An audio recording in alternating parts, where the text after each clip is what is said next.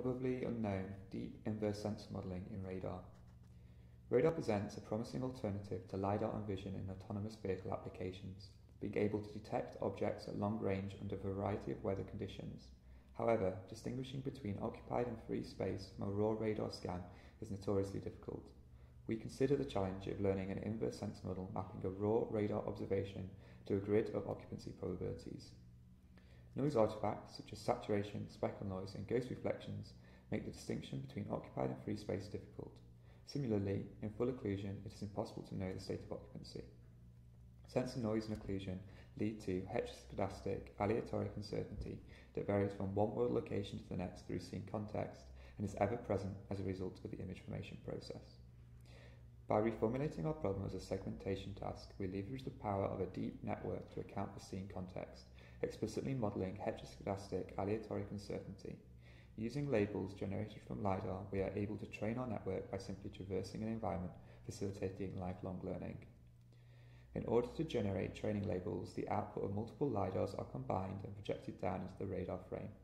The space is partitioned into observed, where labels for free and occupied space exist, partially observed and unobserved space, where the state of occupancy from LiDAR is unknown. We incorporate heteroscedastic aleatoric uncertainty into our model by treating the activation of a sigmoid likelihood function as a normally distributed random variable, predicting the mean and standard deviation of this random variable with a neural network. In order to encode an assumption that regions of space that are unknown in LiDAR are likely to be unknown in radar, we introduce a prior on the uncertainty associated with unobserved space and train our model by maximizing the variational lower bound.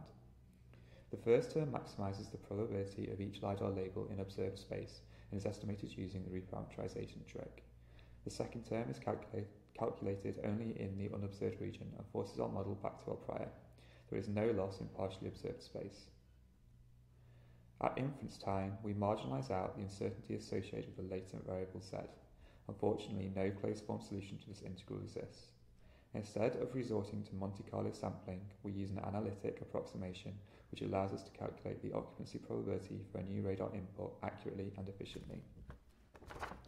Our model is able to successfully reason between occupied and free space in light of challenging noise artifacts, outperforming classical CFAR filtering approaches.